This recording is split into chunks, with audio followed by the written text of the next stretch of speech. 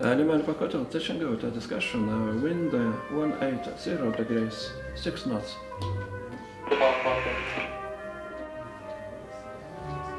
Либо будет ready for departure runway 09.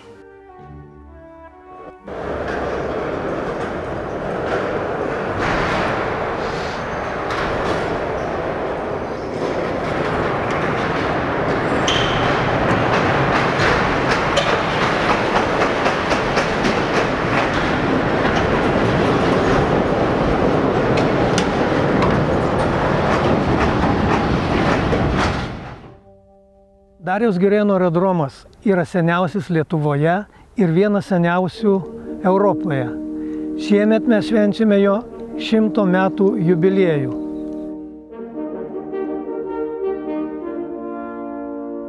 Dariaus Girėno aerodromas įkurtas 1915 metais. Pirmo pasaulinio karo metais įkūrė vokiečiai prieš 40, kas buvo, tai į istoriją nesileidžiant, tik tai prisiminus Dobkevičių, prisiminus Gustaitį, visą vos nepramoninę atsiradus Lietuvos nepriklausomybės laiku, per 20 metų atsirado Lietuvos aviacija, karinė, civilinė, reguliarūs skrydžiai vyko iš šiaurinės aerodromo dalies. 40 metais viską tą užgneužė atėjusi saulė iš rytų sovietinė okupacija labai skaudžią smūgį sudavė visai Lietuvos aviacijai. 97 metais miesto tarybos sprendimu įkurta viešoji įstaiga Darijos Gerėno aerodromas.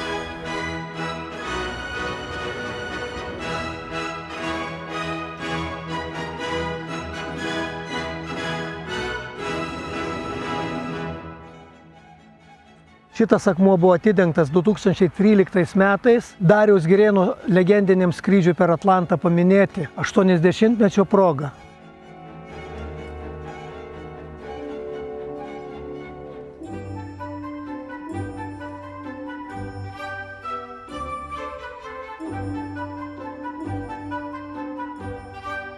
Yra išlikęs Lietuvos aeroklubo angaro fragmentai, Tai buvo 27, 1927 metais pradėjo kurtis Lietuvos sportinė aviacija.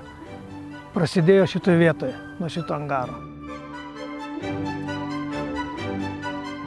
Šiaurės rytų kryptim tai buvo dirižablio angaras, jo 240 metrų ilgio, įspūdingų matmenų. 16 metais, 1916 metais jisai buvo, čia buvo naikintuvų eskadrilės angaras, kur dabar turim, turim peroną.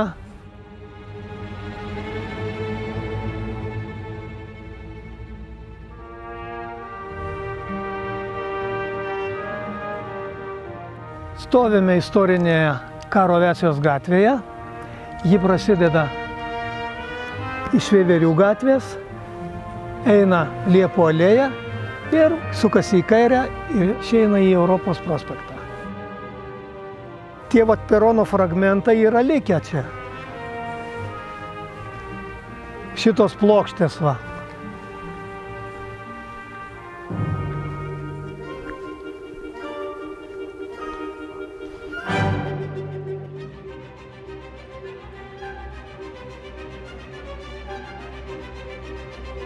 Toks dalykas, kad kaip sakė aviacijos pasaulio atstovai, kad vis tik tai kilometras, kilometras magistralės tai yra kilometras, o kilometras pakilimo tako nuveda į visą Europą.